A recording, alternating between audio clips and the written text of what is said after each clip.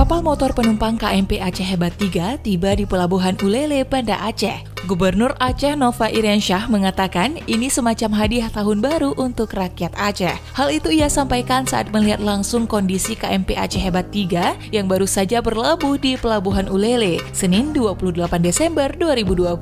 Sebelumnya, KMP Aceh Hebat 2 yang melayani penyeberangan dari kota Banda Aceh menuju kota Sabang telah tiba di dermaga Ulele pada Sabtu 19 Desember 2020 lalu dan akan menyusul KMP Aceh Hebat 1 yang akan melayani penyeberangan dari Kuala Bubun, Kabupaten Melabuh menuju Sinabang, Kabupaten Simelu. Insya Allah, siang ini menuju Kabupaten Aceh Singkil. Saya harapkan ini menjadi hadiah tahun baru bagi masyarakat Aceh, khususnya yang ada di Singkil, kata Nova. Nova menjelaskan KMP Aceh Hebat 3 baru saja rampung dari galangan kapal PT Citra Bahari Shipyard di Kota Tegal, Provinsi Jawa Tengah. Dari sana KMP Aceh Hebat 3 berlayar menuju Kabupaten Aceh Singkil melalui Selat Malaka dan singgah ke Pelabuhan Ulele. Untuk kapasitas, KMP Aceh Hebat ini memiliki volume gelada kapal sebesar 1089 gross tonnage, padahal rencana awalnya hanya sebesar 600 gross tonnage. Dan rencananya, di awal Januari 2021, KMP Aceh Hebat 3 akan beroperasi dan melayani mobilitas masyarakat setempat, baik distribusi logistik maupun transportasi penyeberangan ke daratan.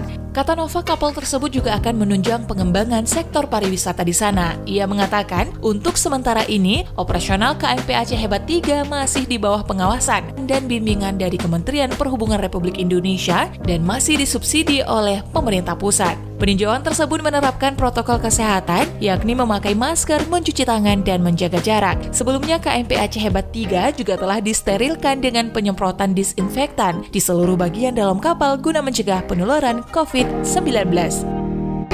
Assalamualaikum warahmatullahi wabarakatuh Bapak Ibu sekalian Kita berada di dek paling atas Kapal motor penumpang Aceh Hebat 3 Aceh Hebat 3 ini berlayar dari galangannya di Tegal sedang ke Singkil di Kabupaten Aceh Singkil. Tadinya rencananya jalurnya melalui Selat Sunda langsung ke barat Sumatera, tapi karena cuaca akhirnya lewat Selat Malaka, mutar dan singgah di Pelabuhan Ulele.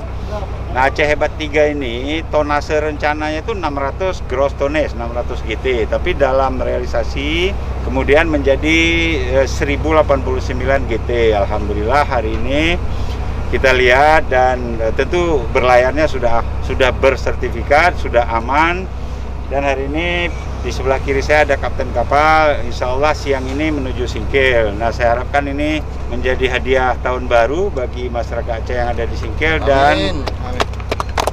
dan insya Allah beroperasi pada awal Januari yang akan datang